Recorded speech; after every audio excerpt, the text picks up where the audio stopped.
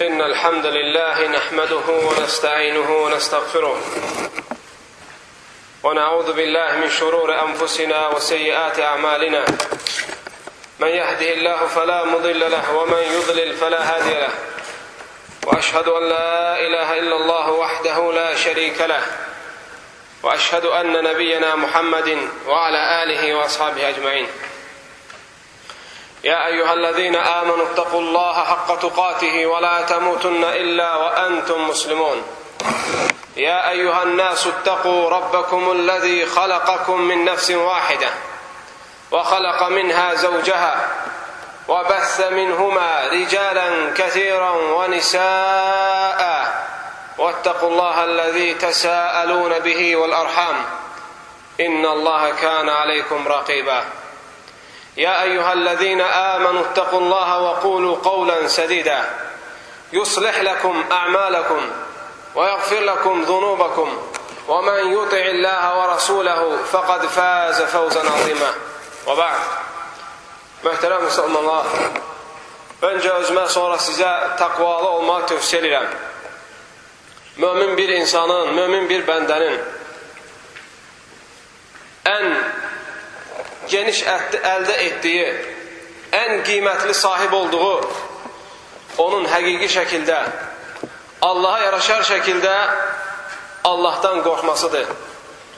Möhtərəm müsəlmanlar, bugünkü xütbəmizdə İslam ümməti üçün yer üzündə Allaha qul olduğunu etiraf edən hər bir insan üçün önəmli olan ən mühüm məsələlərdən birinə toxunacaq.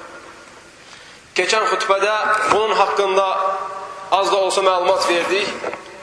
Bu xütbəmizdə isə qalan növbəti məsələlərə toxunacaq. Əziz və möhtərəm müsəlmanlar, bu məsələdə bir çox müsəlmanlar şikayət edir. O, onu bir xəstəlik kimi olduğunu etiraf edir və onun müalicəsinin çətin olduğunu etiraf edir və inanır. O da əziz qardaşlar, qəlbin sərtliyi, qəlbin daşa dönməsi, qəlbin eşitməz və görməz olması. Möhtərəm müsəlmanlar, bugün bir çox insanlar qəlb sərtliyindən, qəlbin möhkəmliyindən, qəlbin şiddətindən, qəlbin görəz və eşitməz olmağından şikayət eləyir. Müalicə tapa bilmir. Peyğəmbər sallallahu aleyhi və səlləm səhih bir hədisdə buyurur ki, Allah Teala elə bir xəstəlik endirməyib ki, onun müalicəsini də endirməsin ölümdən başqa. Möhtərəm müsəlmanlar, bizim üzərimizə düşən o enən, düçar olunan xəstəlikləri müayənə edib bilmək, sonra onu Quran və sünnə işığında müalicə etməkdir. Əgər kim xəstə olduğunu etiraf etməzsə, kim xəstə olduğunu etiraf etməzsə, möhtərəm qardaşlar, o insan müalicə axtarmaz. O ölümə yaxalandıqda, ölümlə qarşıya-qarşıya gəldikdə onda müalicə axtarar. O zamanda müalicə tapılmaz. Tapılsa belə fayda verməz. Ona görə önəmli olan nədir əziz qardaşlarım? Bir müsəlman daima özünü hesaba çəkməsi ki, görəsən İslam dinində qadağan edilən əməllərin içində varmı, yoxdurmu? Və yaxud da İslam dinində əmr olunan şeylərin nə qədərini eləyir, nə qədərini etmir. Möhtərəm müsəlmanlar, bugün bu xütbəmizdə Allahın izni ilə, Allahın müvəffəqiyyəti ilə, məşiəti ilə, iradəsi ilə qəlbi daşa döndərən və yaxud qəlbin daşa dönməsinə səbəb olan əməlləri xatırlayacaq. O əməlləri o əməllərə toxunacaq ki, kimdə varsa bilsin ki, qəlbində sərtlik var, qəlbində xəstəlik var, onu müalicə etsin. Əgər kimdə yoxdursa, kimin qəlbi bu xəstəliyə, qəlb sərtliyinə, qəlbin qapanma xəstəliyinə düçar olmayıbsa, qəlbi salamatdırsa, əlhamdülillah, onda ən azından bu xəstəliklərdən qaçsın. Bu xəstəliklərə yaxın durmasın. Və özü ilə bərabər gördüyü xəstəliyə düçar olmuş müsəlmanları da ondan çəkindirsin. Əziz qardaşlar, qəlb xəstəliyi, qəlbin sərtlənməsi, qəlbin eşitməz, görməz olması, qəlbin hissiyyətsiz olması insanın düçar olduğu ən böyük müsibətlərdən biridir. Müalicəsi ən çətin olan, müalicəsi ən çətin olan xəstəliklərdən biridir. Möhtərəm müsəlmanlar, elm əhli qəlbi hakimə bənzədir. İnsan bədənində olan qəlb bir devlət başçısına bənzəyir. Bir hakimə bənzəyir, bir rəhbərə bənzəyir, bir komandirə, bir ordu başçısına bənzəyir.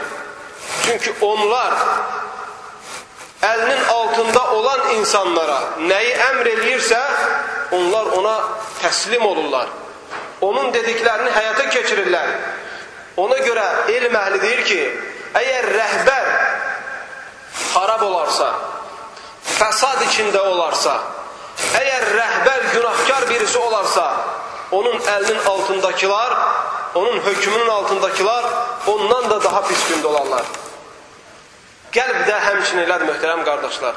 Əgər insanın qəlbi fəsad içində olarsa, əgər insanın qəlbi xarab olarsa, əgər insanın qəlbi sağlam olmazsa, insanın bütün bədən üzvləri də onun kimi xarab olar və yaxud da ondan da daha beş betər olar. Ona görə əziz müsəlmanlar, Peyğəmbər sallallahu aleyhi və səlləm səhih hədisdə buyurur ki, Ələ və innə fil cəsədi mudğa. İdə saluhat saluhəl cəsədu kulluhu. Və idə fəsədət. Fəsədəl cəsədu kulluhu. Ələ və hiyəl qalb Deyir ki, həqiqətən Adəm övladının, insanın içərisində bir parça ət var. Əgər o ət düzələrsə, sağlam olarsa, bütün bədən üzvləri sağlam olar. Əlin sağlam olar. Ayağın sağlam olar. Gözün sağlam olar, dilin sağlam olar, qulağın sağlam olar. Nə demək sağlam olar? Yəni ayağın harama getməz. Əlin haram iş görməz. Gözün harama baxmaz. Dilin haram danışmaz. Qulağın haram eşitməz sağlam olarsan. Əgər qəlbin o bir parça ət fəsad olarsa, xarab olarsa, xəstə olarsa, bütün bədən üzvlərin xarab olar, xəstə olar, fəsad içində olar. Ayaqlarını haramdan çəkə bilməzsən, əllərini haramdan çəkə bilməzsən, gözlərin harama baxar, dilin haram danışar, qulağın haram eşlər və onların hamısı ahirətdən öncə səni bu dünyada müsibətə düş düşməyinə səbəb olar. Möhtərəm müsəlmanlar, elm əhli xatırladır ki, birinci, ən çox qəlbi sərtləşdirən amil və yaxud qəlbin daşa dönmə, dönməsinə səbəb olan ən birinci səbəb Allahı, Allahı zikirdən, Allahı zikr etməkdən üz çevirməkdir. Birinci budur. Kim Allahı xatırlamaqdan, Allahı anmaqdan, Allah Taala'nı zikr etməkdən üz çevirərsə, üz çevirərsə, o insanın qəlbi daşa dönər. Qəlb daşa döndürsə, möhtərəm qardaşlar, o insan haqla batili seçə bilməz. Qəlbi daşa dönən insanlar bilməz ki, nədir haqq, nədir batil. Bütün hökmlərin içində çaşbaş qalarlar. Çıxış yol tapa bilməzlər. İstərsən dini məsələsi olsun, istərsən dünyavi. Allah Teala Quran-ı Kərimdə buyurur, Taha surəsinin 124-cü, 125-ci və 126-cı ayəsində. Əuzu billahi minəşşeytanirracim. Və men a'rada an zikri fa inna lahu ma'ishatan danka və nahşuruhu yawmal qiyamati a'ma. Qala rabbi lima hashartani a'ma və qad kuntu basira. Qala kəzəlikə ətətkə əyatuna fənəsitəhə və kəzəlikəl yevmə tunsa. Allah Teala buyurur ki, kim məni xatırlamaqdan, məni zikr etməkdən, məni anmaqdan üz çevirərsə, biz ona sıxıcı həyat verərik. O insan sıxıntı içində olar. Hətta bütün dünyanın nemətlərinə nail olsa belə. Hətta malı, pulu, vəzifəsi, gücü olsa belə. Allah onun qəlbindən sıxıntıyı çıxartmaz. Həsrət çəkər. Qəlbində qəlbindəki sıxıntıdan başı kəsilmiş bir heyvan kimi çırpınar. Və nəhşuruhu yawmal qiyamati a'ma. O qəlb sıxıntısını Allahın zikrindən üz çevirən o qəlb sıxıntısını möhtərəm qardaşlar bu dünyada çəkər. Onu çırpındırar. Yediyi yeməyin belə ləzzətini almamaq mərtəbəsinə, dərəcəsinə gəlib çatar. İçdiyi sudan, içdiyi sunun ləzzətindən, həzzindən məhrum olar. Bu dünyada. Sonra Allah Teala buyurur: "Və nəhşuruhu yawmal qiyamati a'ma." Axirət günüdə biz onu kör olaraq həşr eləyərik. Kör. Heç kəs onun yedəyindən, əlindən tutub gəzdirməz. Qiyamət günü, məhşər günü bir insanın bir insanın yardımına ehtiyacı olası bir gündə gözü görməyə ehtiyacı olanı bir gündə onu Allah kör olaraq həşr eləyər. Allahın ayətlərini görmədiyinə görə. Allahın dəlillərini görmədiyinə görə. Allahın əmirlərini yerinə yetirib qadağanlarından çəkinmədiyinə görə. Allahı xatırlamaqdan üz çevirdiyinə görə. Allah onu axirət günü kör olaraq həşr eləyər. Hər kəs bu kör insanın Allahın zikrindən üz döndərdiyini bilər. Bilər ki, bu kör olaraq həşr olunan insanlar bu dünyada Allahı zikr eləməyən, Allahı xatırlamayan insanlar idi. Sonra Allah Teala möhtərəm qardaşlar buyurur. O Allaha belə cavab verəcək. Belə deyəcək axirət günü. Qalə Rabbi limə həşərtəni a'ma və qad kuntu basira. Ey Rabbim, məni niyə kör olaraq həşr etdin? Mən dünyada görürdüm axı. Allah Teala buyuracaq. Kəzəlikə ətətkə əyətuna fənəsitəhə və kəzəlikəl yevmə tunsə. E sənə həmçinin bizim ayətlərimiz gəldi. Bizim dinimiz gəldi. Allah peyğəmbərlər göndərdi. Və Allah Taala ayətlər nazil etdi. Şəriətini insanlara anlattı. Deyəcək sənə ayətlərim gəlib çatdı. Sən ayətlərimdən üz çevirdin, onları unuttun və ona görə də sən bu gün unudulacaqsan.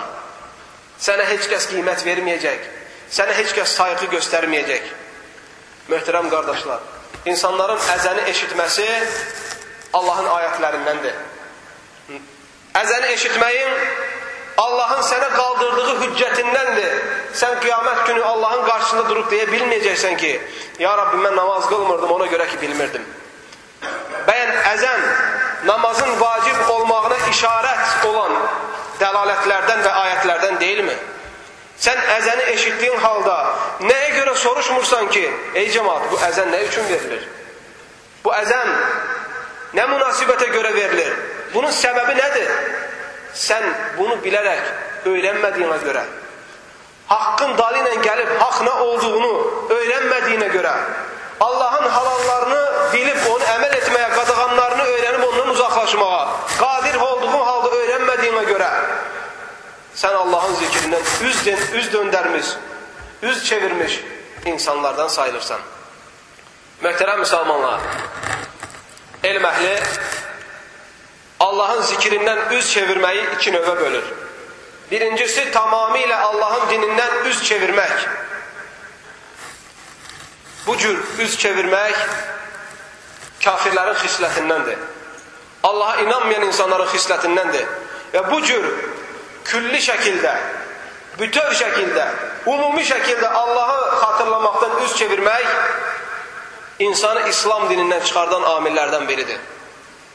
İkinci növü isə cüz'i, hissəvi bir Allahın zikrindən üz döndərmək. Bu da bəzi cahil, bəzi günahkar müsəlmanlardan meydana gəlir. Hər hansı bir Allahın qadağanı tapdalanırsa, Allahın qadağan etdiyi hər hansı bir əmri, hər hansı bir qadağanı bir insan tapdalayırsa, həmin məsələdə Allahdan üz çevrilmiş, həmin məsələdə Allahdan üz çevirmiş hesab olunur. Buna diqqət yetirin. Ona görə elm əhli deyir ki, kim Allahdan, Allahın zikrindən, Allahı xatırlamaqdan, Allahın əmirlərindən və qadağanlarından nə qədər üz çevirirsə, nə qədər üz çevirirsə, o qədər o insan Allahdan uzaq hesab olunur. Kim nə qədər Allah'a zikir eləyirsə, Allahı anırsa, onun dediklərini yerinə yetirib qadağanlarından çəkindirirsə, o qədər o insan Allaha yaxın hesab olunur. Möhtərəm müsəlmanlar, Allahı unutmağın, Allahı zikr etməkdən üz çevirməyin, Allahı xatırlamaqdan üz çevirməyin aqibəti, təsiri və cəzası var, hətta bu dünyada. Allahı xatırlamayan insanlar onun səbəbindən bir neçə xəstəliyə düçar olurlar bu dünyada. Onlardan birincisi, xüsusən də müsəlmanlar, günahkar müsəlmanlar. Onlardan birincisi, o insanlar ibadətdə xuşu nemətindən məhrum olurlar. Etdiyi ibadətlərdə ləzzət hiss eləmirlər. Sıxıntı çəkirlər. Sıxıntı duyurlar. Etdikləri ibadətlərdən həzz ala bilmirlər. Həmçinin o cür insanlarda kibir, pis zən, paxıllılıq, həsədkarlıq, nəmmamlıq, qeybət çoxalır. Çünki bir insan haqla məşğul olmazsa, o insanı batil öz əlinə alar. Əgər bir insan doğruyu danışmazsa, o insan yalan danışar və yaxud doğru olmayan şeyləri danışar.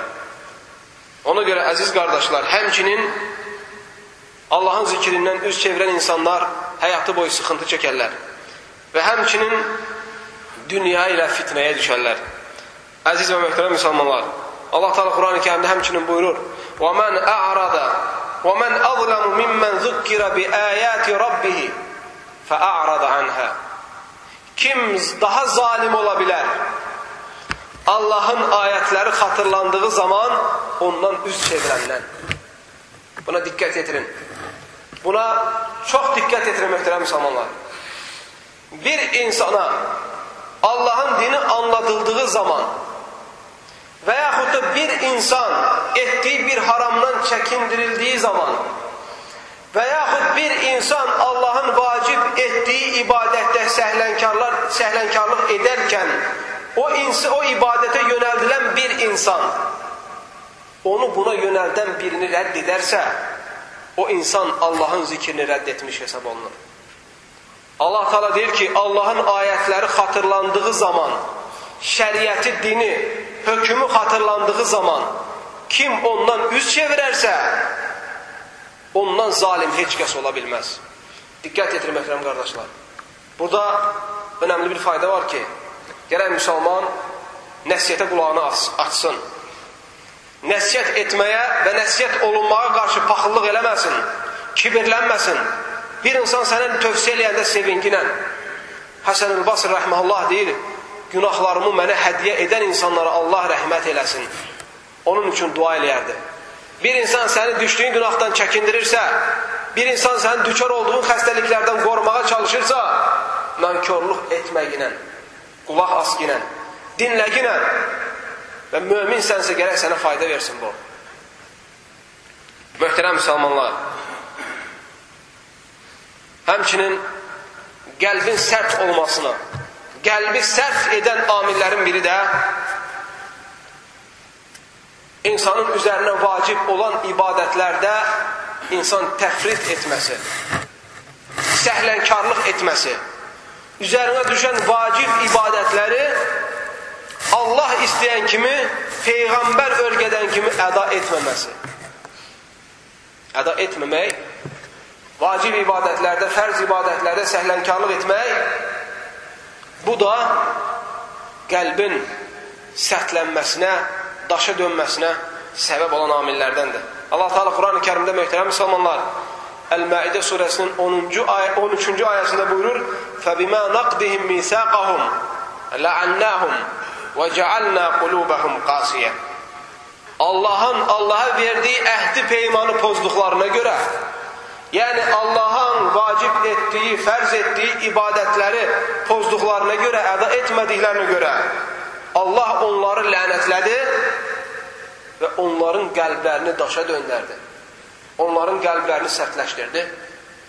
Bu nəyə göstərir əziz müsəlmanlar, əziz iman əhli? Onu göstərir ki, Allahın vacib etdiyi ibadətləri gözəl şəkildə əda etməmək, təfrid etmək, səhlənkarlıq etmək insanın lənətə düçar olmasının səbəblərindəndir. Qəlbinin həmçinin, onun qəlbinin həmçinin daşa dönməsinin əlamətlərindəndir. Həmçinin möhtərəm müsəlmanlar, qəlbin daşa dönməsinə səbəb olan amillərdən biri də insanın haram mal yeməsi, haram mal içməsi, haram mal geyməsidir. Müsəlmandan tələb olunan şey həm halal axtarmaqdır yeməyində, həm içməyində, həm də geyinişində. Müsəlman Allah verən rızqı ilə, Allah ona yazdığı rızqı ilə qənaətlənməlidir, razı olmalıdır. Çünki əgər əgər malla, pulla və yaxud əgər mal, pul xoşbəxtliyin əlaməti olsaydı və yaxud da xoşbəxtliyi əldə etmək mal, pul vasitəsilə olsaydı, onda Allah Teala peyğəmbərlərini ən varlı insanlardan edərdi. Allah Teala övliya insanları yer üzündə ən zəngin insanlardan edərdi və yer üzündə ona inanmayan heç bir kəsə Allah baxt ruz verməzdi. Onları kasıb eləyərdi. Amma bunun əks olması, bəzi müsəlmanların əksinə kasıb olması, kafirlərin, münafiqlərin, inanmayanların daha varlı olması onu göstərir ki, xoşbəxtlik qəlb rahatlığı, saadət və sevinç və huzur əsas onu gətirən mal-mülk deyil. İnsanlar kasıblıqdan qorxaraq harama əl atmalarından deyil. Elə deyil, möhtərəm qardaşlar. Allah da insana huzur verən, rahatlıq verən, rızqı verən, onun qaza və qədərində nə varsa, onu əmr edən, onu olmasını istəyən. Ona görə möhtərəm müsəlmanlar, Peyğəmbər sallallahu əleyhi və səlləm misal gətirir. Səfərdə olan insanın Allah dualarını qəbul edir. Səfərdə dua etmək duanın qəbul olma əlamətlərindən biridir. Üstəlik bir insanın paltarının köhnə olması, saçı, saqqalı dolaşıq olması, toz içində olması, Ya Rabbi, Ya Rabbi deyib Allaha yalvarması duasının qəbul olma əlamətlərindəndir. Təvazükarlığın əlamətlərindəndir. Buna baxmayaraq Peyğəmbər s.ə.v misal çəkir. Deyir, bir kişi səfərdə ola, saçı saqqalı toz torpaq içində bir-birinə qarışmış halda ola və əllərini açaraq Ya Rabbi, Ya Rabbi deyib Allahdan istəyə, deyir, amma Allah onun duasını qəbul etməz. Amma Allah onun duasını qəbul etmir. Nəyə görə? Deyir, çünki onun yediyi haramdır geyindiği haramdı, o insan haramla gidalanıp. Mat'amuhu haram, ve melbesuhu haram, ve guzziye bil haram, fe enne yüstecabu lehu. Bir o insan bu kadar duanın kabul olmak alametleri onda olmaya, ol, olmasına bakmayarak Allah onun duasını kabul edemiyor. Neye göre? Der, çünkü yemeği haramdı. Giyinmeyi haramdı ve haramla gidalanıp, haramla böyüyüp, Ona görə möhtərəm qardaşlar, haram yemək, haram içmək, haram geyinmək insanın qəlbinin daşa dönmə səbəblərindəndir. Bu hədisi İmam Muslim rəvayət edib. Möhtərəm müsəlmanlar, umumi şəkildə elm əhli xatırladır ki, həmçinin qəlbin daşa dönmə amillərindən biri də, qəlbin daşa dönmə amillərindən biri də insan günahları kiçiltməsi, günah məsələlərində səhlənkarlıq etməsi, bu balaca günahdır, Allah keçər deyib, o biri balaca günahdır, Allah keçər deyib. Və hər bir günah etdikdə müəyyən bir hilə ilə, müəyyən bir fırlatma ilə onu etməsi insanın qəlbini daşa döndürən amillərdən biridir. Allah Teala Quran-ı Kərimdə Mutaffifin surasının 14-cü ayəsində buyurur: Kəllə bəl rana alə qulubihim mə kənu yəksibun. Allah onların qəlblərini qaraltdı. Qaraltdı. Nəyə görə? Etdikləri günahlara görə. Qazandıqları Allahın qadağan etdiyi şeylərin içində üzdüklərinə görə. Peyğəmbər sallallahu aleyhi və səlləm İmam Tirmizinin, həmçinin İmam İbn Məcənin Abu Hureyranın rivayət etdiyi hədisində buyurur ki, Adəm övladı bir günah etdikdə onun qəlbinə bir qara nöqtə düşür.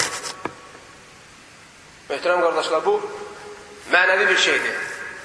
Mənəvi bir şeydir. Qəlbin də hissiyyəti var. Hər hansı bir şeyi, hətta mənəvi olmayıb maddi olan bir şeyi əlvə alsan, onun üstə hər gün bir qara nöqtə atsan, hər gün və yaxud gündə bir neçə qara nöqtə atsan, bir gündən sonra baxacaqsan ki, o şey heyətini itirib, şəklini itirib, başqa bir formaya düşüb. Həqiqətini, həqiqətdə olduğu hal dəyişib. Qəlb də elədir. Peyğəmbər s.ə.v buyurur, bayaq dediyim rivayətdə, Adəm övladı hər hansı bir günah etdikdə qəlbinə bir qara nöqtə düşür. Bir gündə 100 günah edirsənmi, qəlbinə 100 qara nöqtə düşür. Bir həftədə 700 günah edirsənsə, 700 nöqtə düşür. Və etdiyin hər günah sayında qəlbində nöqtə var. Və günahkar insanların qəlbi qara nöqtə düşməkdən qap-qaradır, möhtərəm qardaşlar. Qap-qara. Qaraldısa, ondan sonra o qəlb olur daş kimi. Sərtləşir, şiddətlənir və möhürlənir. Ona görə həmin hədisdə gəlir ki, kim tövbə eləyərsə, Allahdan bağışlanmaq istəyərsə, o qədər istədiyi qədər o qara nöqtələr silinər. O qara nöqtələr təmizlənər. Ona görə mömin bir şeyə fikir verməlidir. Özəlliklə. Birincisi, günah etməməyə çalışmalıdır. İstər böyük, istər kiçik. Günahı etməyə qəsd etməməlidir. Əgər etdisə, onu gecikdirmədən tövbə etməlidir.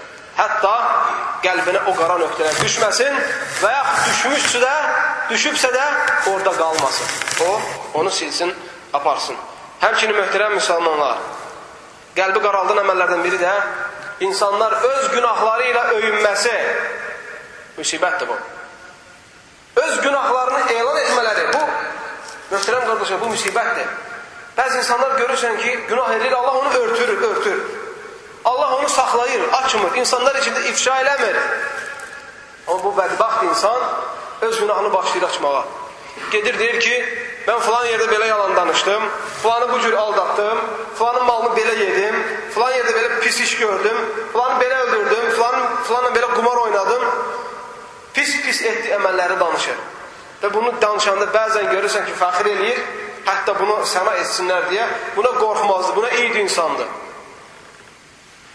Ya fəxr eləyir möhtərəm qardaşlar, bu insan, ya da kimlərisə bu danışdırdığı şeylərlə gülməyə zövq eləyir. Ki bu danışsın, onlar da gülsün.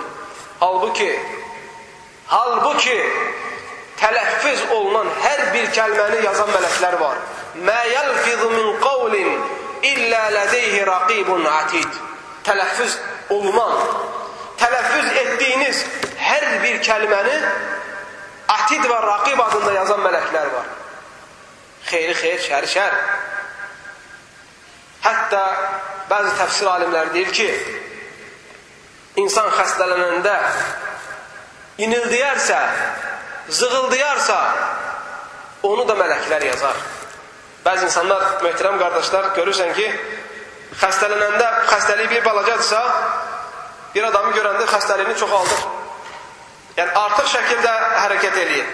O artıq şəkildə olan iniltisindən də insan hesaba çəkilər. Ona görə çalış günah eləmə. Günah etdinsə, günahlarını ortaya atma, öyünmə günahlarınla, fəxr eləmə. Onu örtkinə. Nə qədər örtürsən, o qədər Allaha daha yaxınsan. Bir şərtlə ki, tövbə eləyəsən. Möhtərəm müsəlmanlar,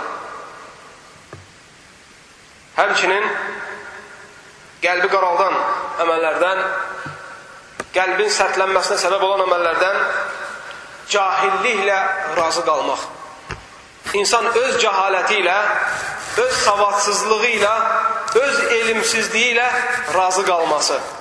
Ola bilsin ki, kimsə deyə ki, mən razı deyiləm ki, mən razı qalmıram ki, mən savadlı olmaq istəyirəm.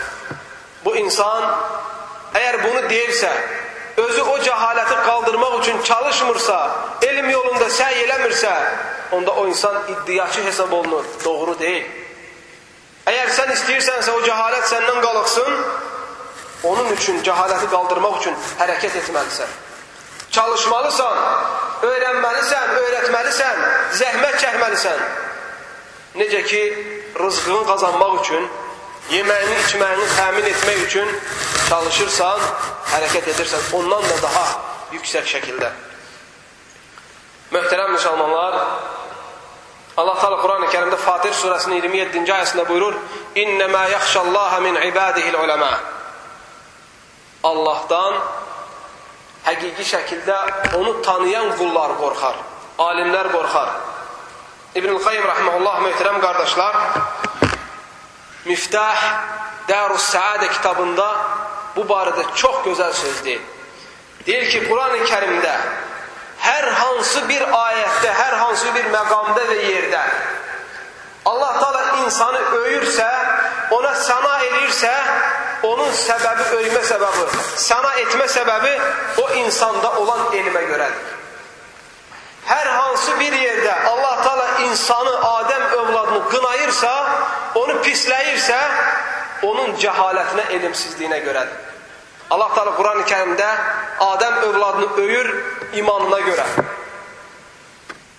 Adəm Adəm övladını öyür şükürünə görə, səbrinə görə və xeyr əməllərdə yarışmağına görə, Allah üçün sevməyinə görə, Allahdan qorxmağına görə, Allahdan rica etdiyinə görə, gözəl əxlaq sahibi olduğuna görə, miskinlərin və kasıb insanların əlini tutduğuna görə, və valideynləri ilə gözəl rəftar etdiyinə görə və bir çox xeyir əməllərdə Allah Taala Adəm övladını öyür. İbn Qayyim rahmanullah deyir, bu övgülərin səbəbi başı o insanda olan elmə görədir. Çünki insanda elm olmasa Allaha yetəri şəkildə iman edə bilməz. Xeyirli əməllərə muvaffaq ola bilməz. Xeyirli əməllərdə yarışa bilməz səbr edə bilməz, yetəri şəkildə verilən nemətlərə şükür edə bilməz, gözəl əxlaq sahibi ola bilməz, valideynlərin haqqını yerinə yetirə bilməz, haramlardan çəkinə bilməz. Bunların hamısına səbəb olan insanın elmidir, möhtərəm qardaşlar. Və bütün bəla, bütün müsibətlərin başı da insanın cahil olmasıdır. Və həmçinin Quran-ı Kərimdə Allah pislədiyi və qınadığı nə varsa Adəm övladında onun cəhalətinə görədir. Küfür, şirk, zülm, zina, paxıllıq, kibir, riyakarlıq, küzlülük, verdiyi vədə müxalif çıxmaq və bunu kimi Allah Taala bu əməllərə görə qınadığı insanlar Adəm övladından onların əsas səbəbi cahilliklərinə görədir. Çünki əgər insan cahil olmasa, əgər insan bey savad olmasa, əgər insan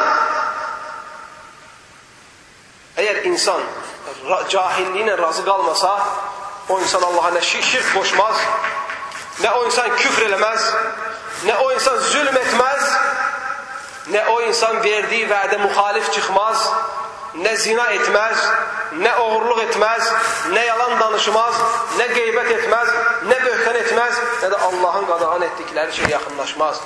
Bunların hamısının səbəbi, əziz qardaşlarım, cahillikdir. Ona görə müsəlman qorxmalıdır cahillikdən. Səhrada ilandan və fələngdən qorxduğundan daha çox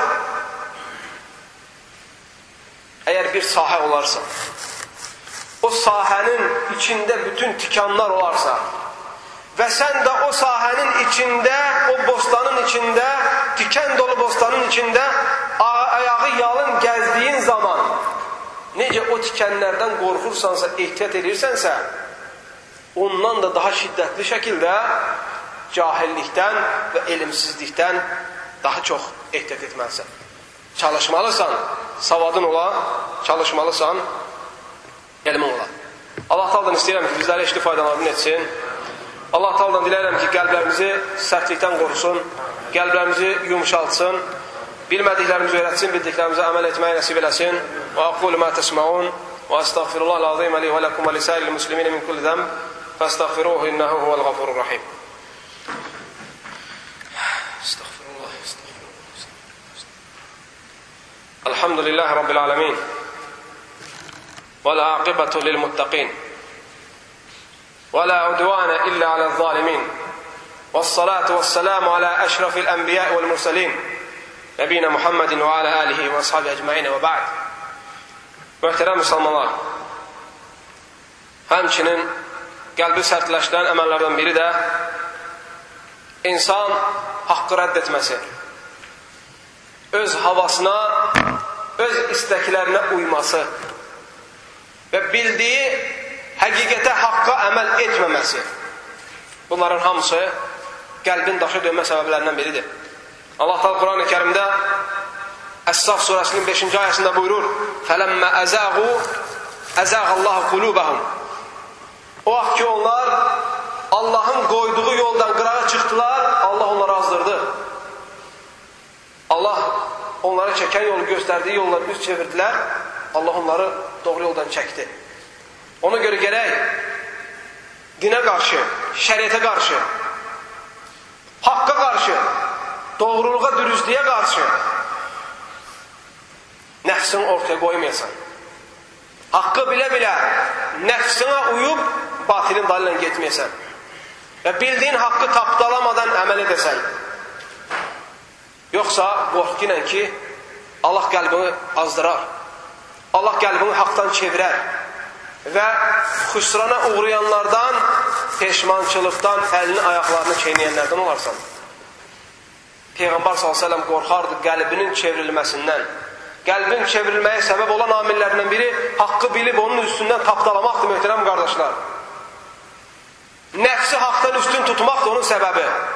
Peyğəmbər s.ə.v səhih hədisdə buyurur ki, Yə müqallibəl qulub, səbbit qalbi alə din. Ey qəlbləri çevirən, mənim qəlbimi öz dinində sabit et.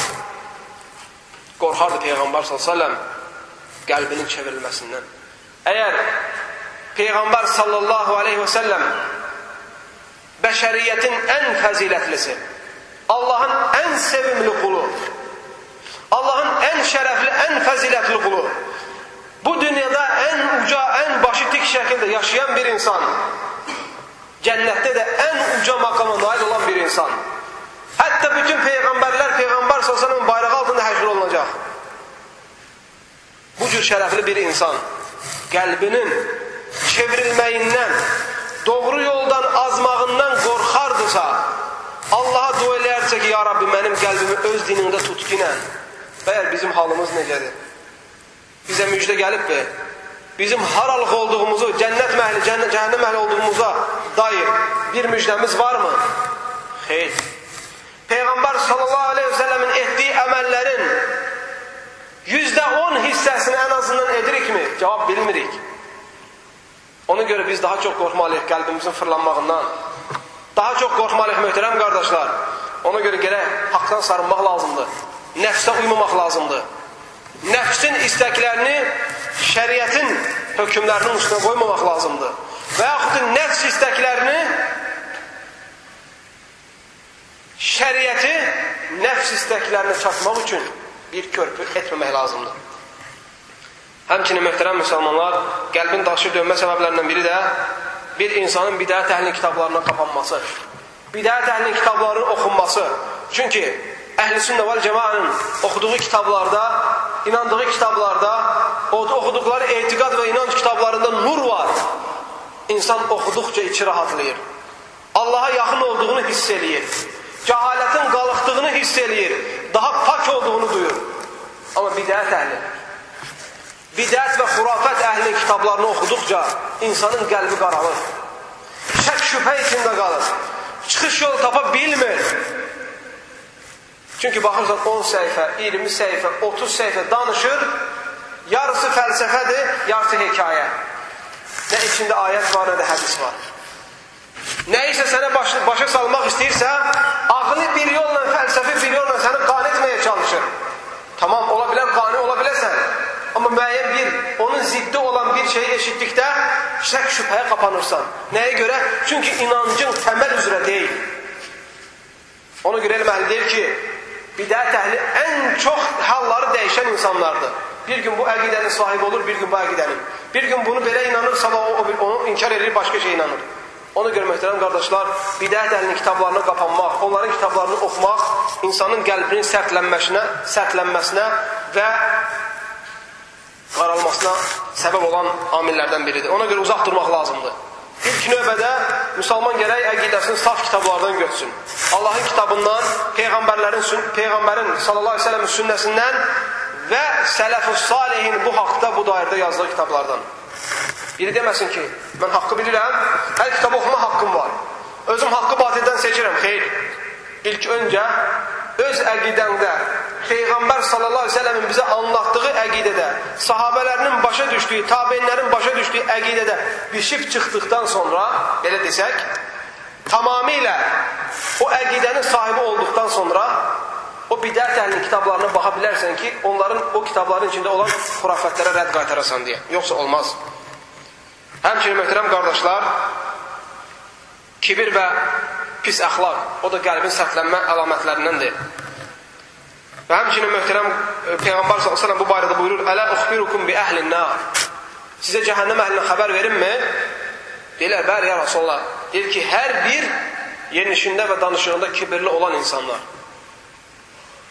Və həmçinin möhtərəm müsəlmanlar, boş insanlarla oturub durmaq da qəlbi sərtləşdirən əməllərdən biridir. Faydasız insanlarla, boş boğaz insanlarla, danışmağa söz gəzən insanlarla oturub durmaq insanın qəlbinin sərtlənməsinə səbəbdir. Bəzi insanlar var ki, boşdur. Nə işləmir, nə işi yoxdur, nə də gücü. Ya ömrünün yarısını televizora baxacaq, televizora baxıb bezdikdən sonra çıxıb yolda bir yerdə adam axtaracaq. Biri əlinə keçəndən sormasında filan belə getdi, filan belə gəldi, filan yer belə batdı, filan yer belə çıxdı. Nəticədə heç nə yoxdur. Necə deyirlər ki, qırqır eləməyə adam gəzir. Deməli, möhtərəm qardaşlar, fayda boş-boş danışan insanlarla oturub durmaq da qəlbi qaraldır. Yersiz yerə gülmək, yersiz yerə danışmaq, bunların hamısı insanın qəlbini çirkləndirir, kirləndirir. Ona görə hədis var, möhtərəm qardaşlar. Peyğəmbər sallallahu əleyhi və səlləm buyurur ki, çox gülmək qəlbi qaraldır, qəlbi sərtləşdirir. Yəni, yersiz yerə gülmək. Yersiz yerə gülmək əgər münasibdirsə, onda o zaman gülə bilərsən. Möhtərəm müsəlmanlar, insan bu şeylərdə özünü hesablamaq üçün qəlbi sərtdirmi, qəlbi yumşaqdırmı, bunların nəticəsini bilmək üçün bir neçə yerlər var. Onlardan birincisi namazda. Namazda gör ki, xuşu hiss edirsənmi? Allahın qabağında durduğunu hiss edirsənmi? Allahdan qorxaraq, Allahın huzurunda duraraq deyə bu hissiyyətlə namaz qıla bilirsənmi? Quran oxuduqda Allahın ayətlərini oxuyuram deyə, Allahın kəlamını oxuyuram deyə belə bir hissiyyət keçirirsənmi? Və içində qorxu əmələ gəlirmi? Və yaxud da möhtərəm qardaşlar, alış-veriş eləyəndə görəsən alış-verişində birdən haram olar deyə qısqanclıq və qorxu içində varmı? Və yaxud da Allahın qoyduğu hədlər aşıldığı zaman içində buna qarşı qeyrət hiss eləyirsənmi? Və yaxud da kasıb və fağır insanlar gördüyü zaman onların əlindən tutub qaldırmaq hissiyyəti keçirirsənmi? Əgər bunlar və yaxud da qəbir sandığa keçdikdə ölümü xatırlayıb arzuları qısaldırsanmı? Belə bir yerlərdə, münasib yerlərdə insan qəlbini hesaba çəkmək mümkündür. Möhtərəm müsəlmanlar, bununla bu xütbəmizi tamamlayıram. İnşallah Allah nəsib eləsə, gələn xütbədə də qəlbi yumşaldan bu qəlb sərtliyinin müalicəsi nələrdir? O haqda danışacaq. Allah bizə işte faydalardan etsin. Allah taldan diləyirəm ki, xəstə müsəlmanlara şəfa versin. Zülm olunan müsəlmanlara Allah tal yardım eləsin. O müsəlmanlara ki, borcu var, Allah onların borcunu ödəmək üçün yardım eləsin. Allah taldan diləyirəm ki, müsəlmanlara güc versin, qüvvə versin, savat versin, elm versin. Müsəlmanları hər türlü əzab əziyyətdən qorusun. O müsəlmanlar ki, əsirdirlər, O müsəlmanlar ki, əzab əziyyət içindədir, Allahdan istəyirəm onları xilas eləsin. Allah taldan diləyirəm ki, bütün müsəlmanları izzətləndirsin, onları kitab və sünnətə qaytarsın. Allah taladan diləyirəm ki, möhtərəm müsəlmanlar, dinin düşməni olan insanları yer üzündən silsin. O kəslər ki, Allahın dininə qarşı, Allahın dinini yaşayan insanlara qarşı, Allahın evlərinə qarşı düşmənçilik eləyir. Allah onların gözünü kör eləsin, dilini lal eləsin. Allah onlara elə xəstəlik versin ki, başqalarına da ibrət olsun. Və sallallahu səlləm və barik alə nəbinə Muhammed və alə alihi və sahbihi əcmain. Bu dərs sizə ixlasla.com saytı tərəfindən təqdim olundu.